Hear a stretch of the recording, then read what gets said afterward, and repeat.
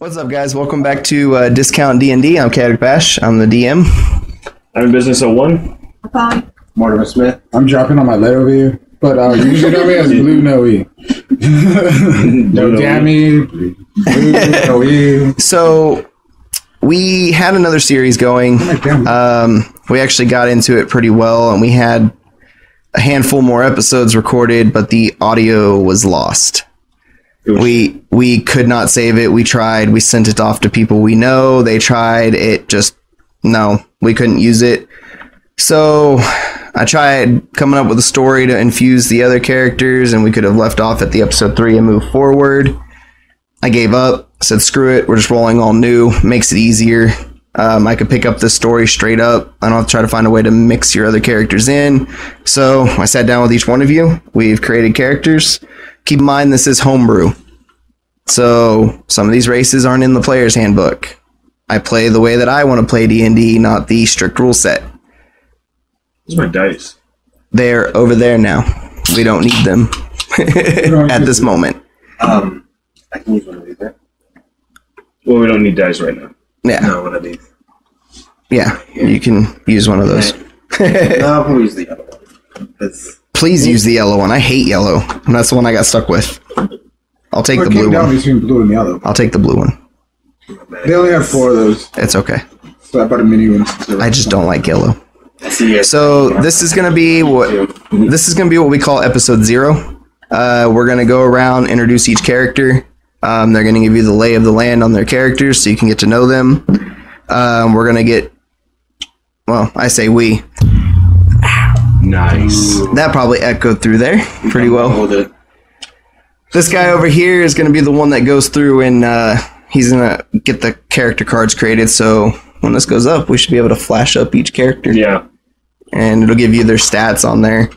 Um, and then I'll give you guys the lay of the land, give you the backstory of what's going on. Laying of land. Yeah, I know. I'll give you guys the I was like, backstory, what kind of guy do you think I am? Lay my whole land in front of everybody. and then uh, when we get the chance to meet up again, we'll start episode one. But uh, is just going to be introductions of the characters, the players, and I'm going to give you guys the backstory of where you where you guys are going to be, what's going on around you. All right. Sounds Yep. like a So who's starting? I say we roll for it. Yeah. I say we roll for It's it. the only fair way, really. Oh, I don't have Oh, any yeah? On. Highest we or rolling? lowest number? Six. He's like, I'm using mine, I'm rolling my d20. which is still getting you a one. Five. Six. So we're just gonna go this way and we'll go clockwise. yeah, let me start with him. Yeah. Even though I got Yep. a six. So we're starting off with you, Mr. Blue, no damn me over here. All right. What are we playing today? So my character, this uh, campaign is gonna be a half orc cleric. He's gonna go by the name of Khalal. That's uh, K H A L A L. Yeah. He's coming in at 6'7", 280 pounds of tankiness, beefiness, all kinds of um, vengeful, Sailorness. respecting, equality, stretching the truth. Alki you'll ever know and meet. Um, it's pretty much the lay of my land, I guess. uh, He's as a far as my weapons go, I'm walking around with a warhammer and some daggers, or a dagger. Um, you and daggers. Yeah, I kind of want something a little bit long range because I don't mind getting up close and personal. the thing because this is, guy's huge. I gave him the choice of a light crossbow or a dagger, and he But chose a dagger. am- like I have those. Well, you'll find out what I Yep. You Um, Derek? So he's a sailor. He's a cleric.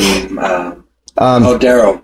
oh I no, meant he's a cleric that likes to stretch the truth, yeah, and he's also an alcoholic. yes, That respects people's people's That- opinion. of course, Yeah, yeah, that respects people and treats them as equals. Yeah, because you should always. At least So- not the alcohol. But you know, I don't know how everybody else rolled. So he's the cleric. Um, Hashtag I respect everybody. also, he's probably the sexiest character of the entire group. Damn, we have come down to figure out? I'm like the the, charisma Brad, score. I'm like the Uh, Brad Pitt of orcs. Your charisma score is your sexiness, What's your charisma? basically. Oh, shit. Uh, my charisma's at 18. Oh yeah. I, I'm probably the scariest. so, um, Okay. Well, I'm a dragonborn monk. I go by the name Omar o- Omaru Abadir.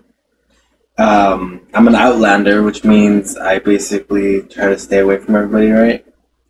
Um, I'm neutral, so really, I'm not for good, I'm not for evil, I guess. As long as it benefits you and doesn't get in your way, you don't care. Um, not really that. I don't think that's my final goal, but I think we'll talk about that later on. Um, my personality trait, I'm I'm a guide. Can like that? Was that does that mean anything though? Like, Not really. I like that. I'm a guy. Question mark? Um, but Wish with the question marks above his I- head. don't like wealthy people or wealth in general. I'm more of like a uh, You believe in the, everyone should have to work hard and they can't be they shouldn't be born into the wealthy. Mhm. You don't like nobles, wealth, royalty, nothing of that matter. Um, I like nature over people. I'm the last of my tribe, and I want to be a legend.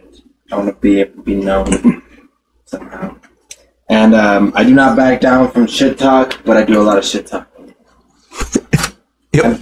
Yeah, I'm How does at work? six. I don't know. I don't know. If I- you start shit talking, he's that. gonna start shit talking right Definitely back. when the- when we Fuck start you, no, I'm going to walk away. well, fuck you too, Wanderer. The fuck you say? That's pretty much what's gonna happen a He's just lot. gonna start random fights with like waitresses and right. stuff. Are you I'm thirsty? What the younger fuck you trying to say? I'm thirsty. What? Like I haven't got laid in a minute? What the fuck you trying to say? Oh, calm down. You want some water? fucking touch me. Don't shit. all right? I'm a red. I'm a red uh, dragonborn, so that means He can breathe fire. Yeah. Sweet. um, Does he need a license for that? No, because it's it's, not. ability. Yeah, it's not considered magic. It's natural.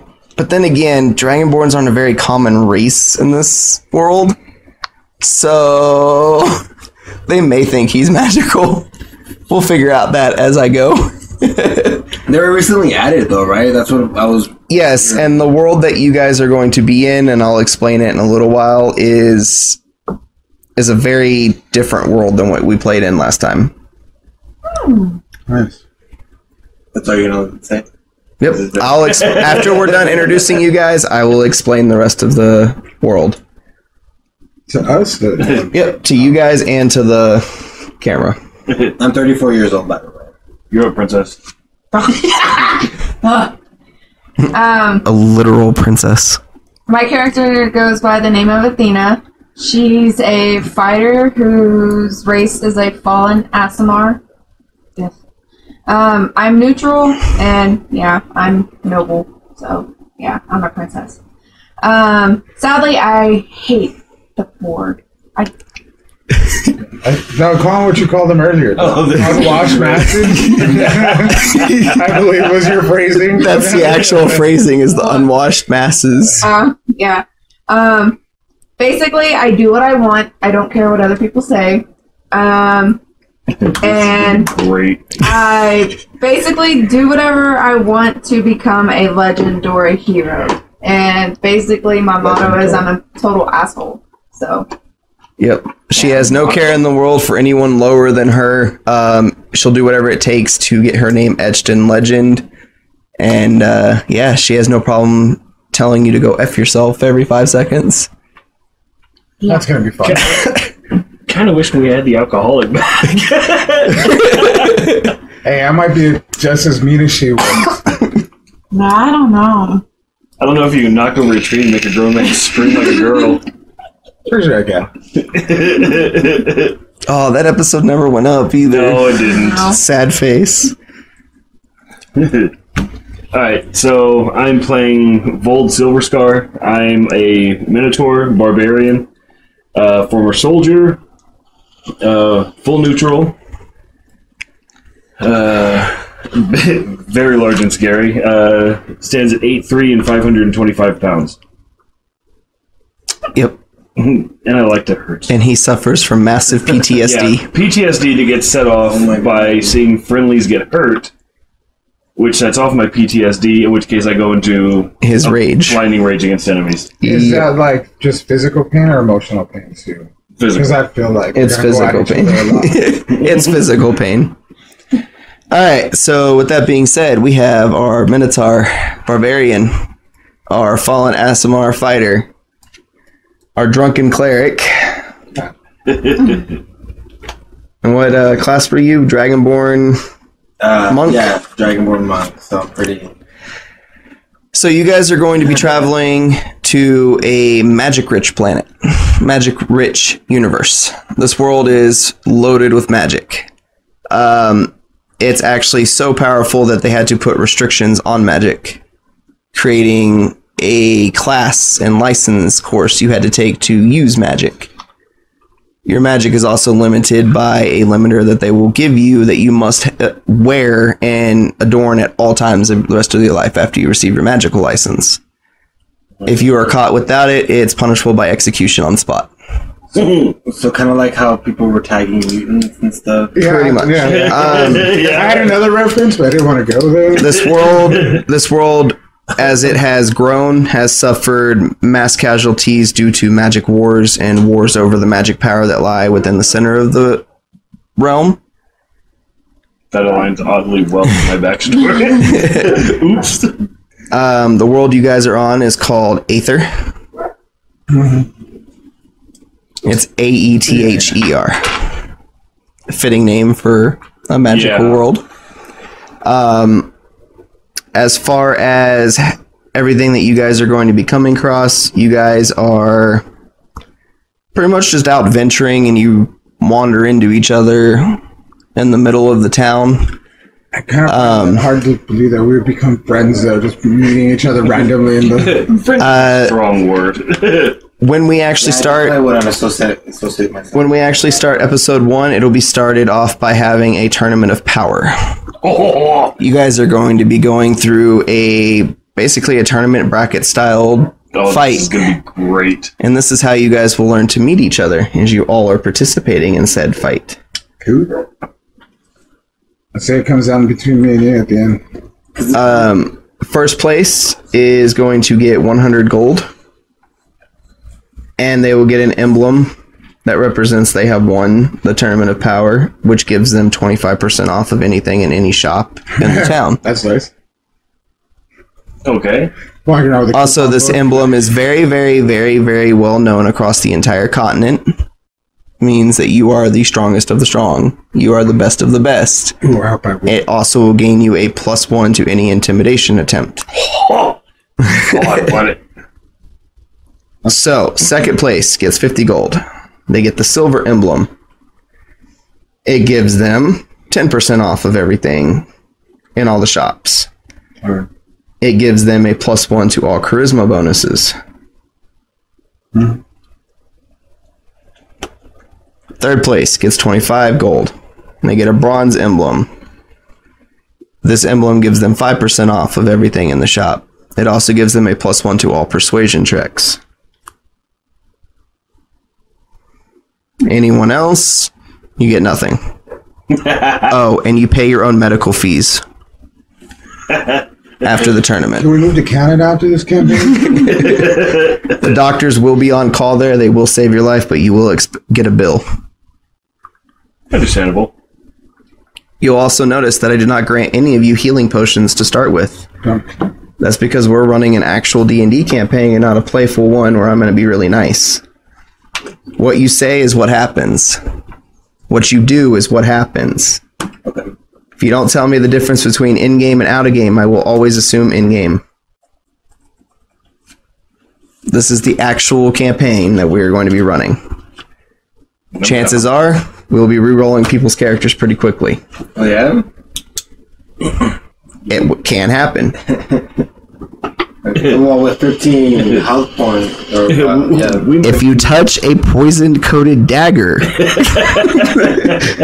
you may not survive it this time.